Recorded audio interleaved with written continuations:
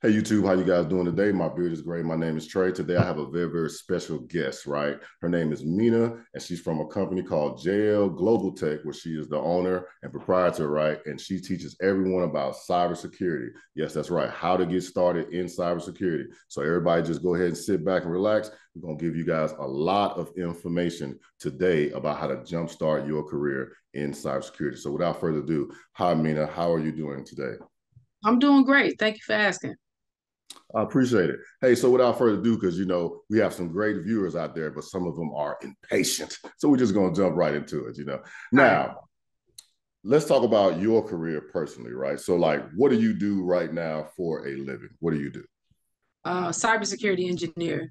That's what I do for a living. Okay, and what did you do before like getting into cybersecurity or IT in general? Well, I did a couple of things. Um, I ran a couple businesses. I had a carpet cleaning company. Uh, you know, I worked at a restaurant. I was a restaurant manager. Uh, I worked in federal security. So those are primarily my my roles and the things I did before I got into tech or cyber.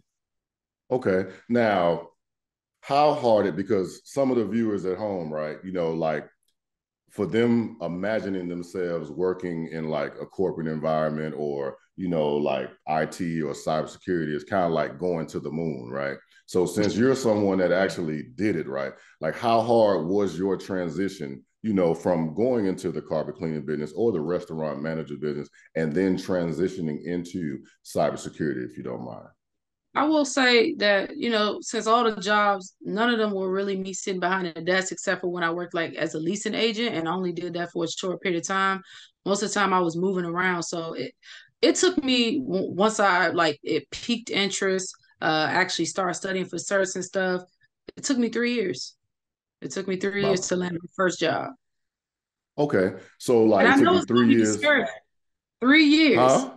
I said, I know it sounds discouraging for anybody listening, but it took me three years because I didn't know how to do certain things and I didn't have somebody saying, hey, this is how you do it. So that's why it took me three years. You know, once I actually was like, what is cyber to reading books and things like that, it actually took me three years. But had I known what I know now, obviously, it would have took me a lot shorter time. Like my students, they I'm jealous of them, but they land jobs within a couple of months, you know, after they complete the course. So I, it, it just my mistakes. I learned from them, and you know, I really like to help, you know, the students push it forward, and they they know how to answer questions and do all that. But it took me three years, and that was a long road. It was a long road, but at the end of the day, it's still you know less time than a degree, you know. So, so let's let's let's unpack that a little bit, if you don't mind. So it took you three years.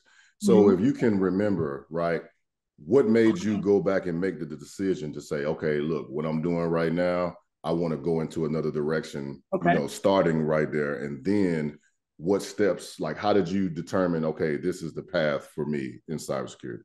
Man, so this is really what happened.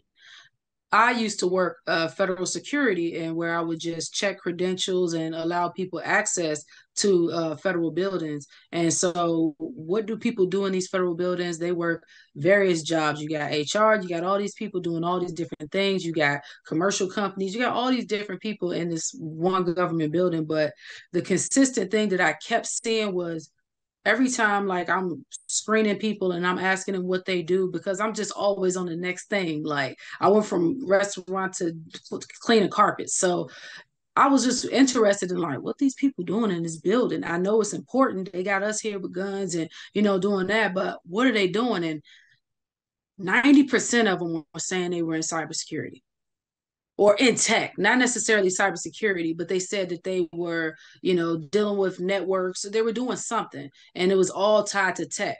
And so I was like, hmm. And then so the more questions I asked, the more information I got. And, you know, I would just ask people what they were doing and came to Google and cyber, you know, just the typical things you do. But the consistent thing was seeing that people were employed and then seeing what kind of money they were making. And then the money is what got me like, you know what?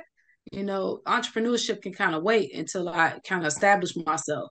But the it was it was really the money and it was really the the overall longevity. Everybody that worked for the government was doing tech in some way, whether it was help desk, whether people checking your phones, whether, you know, they were doing something. So it was just like, man, I got to figure out how to get onto this because how long can you do certain jobs where you like security, you're going to be sitting behind a desk, no real benefits.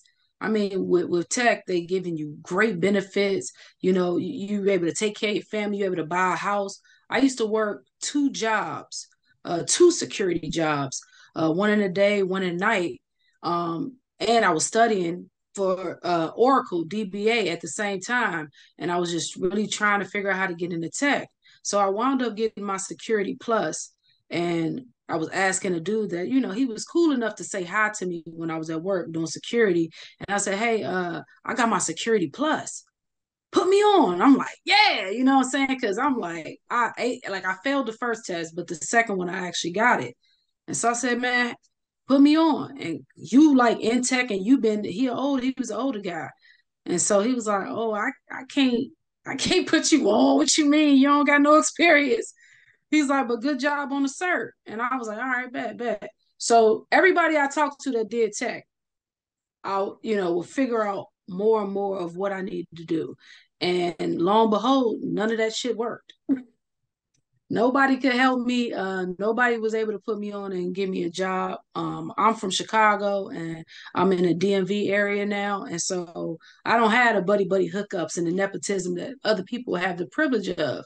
So it was just honestly what helped me was working security, and I got me a federal. I got a clearance, and once they gave me a clearance, companies start biting companies was like, oh, you got your security plus and you got a clearance, we'll train you.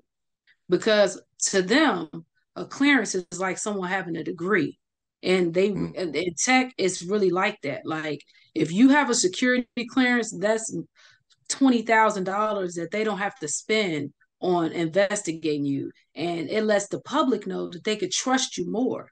That's what a clearance is. It lets the public know that they can trust you.